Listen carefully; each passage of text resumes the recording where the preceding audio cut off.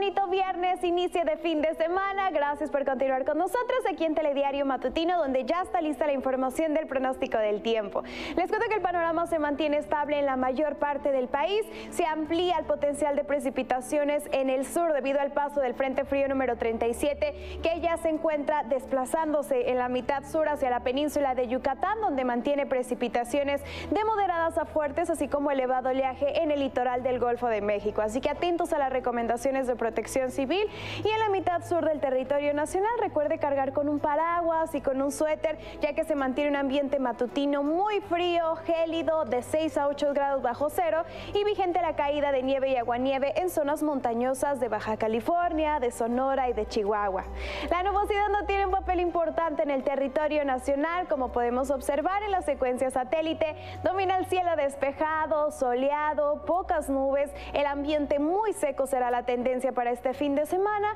y eso que apenas va comenzando ese temporal de calor y ya tenemos temperaturas superiores a los 30 grados, así que hay que mantenerse precavido, recuerden hidratarse bien, se recomienda utilizar ropa ligera, cómoda, así como aplicar protector solar. Para esta jornada de viernes aquí en la Perla Tapatía, como máxima 26 grados, el cielo parcialmente soleado, por la noche 15 grados con pocas nubes y tiene planes nocturnos, recuerde que se mantienen vigentes algunas rachas de viento moderado, así que ya sabe cargar con un suéter. Para los próximos días, sábado, domingo y lunes, la temperatura va en aumento, valores de un solo dígito mantienen un ambiente matutino frío. Si sale a primeras horas del día, recuerde salir abrigado. De 7 a 9 grados como temperatura inicial, la máxima alcanza hasta 28 y el cielo se mantiene parcialmente soleado. En otros puntos de la región, como en Tepatitlán, para este fin de semana, la mínima de 2 grados, la máxima alcanza hasta 26 y el cielo se mantiene soleado en Lagos de Moreno, así como este contraste de temperaturas, mucho frío al amanecer, calor por la tarde y nuevamente por la noche,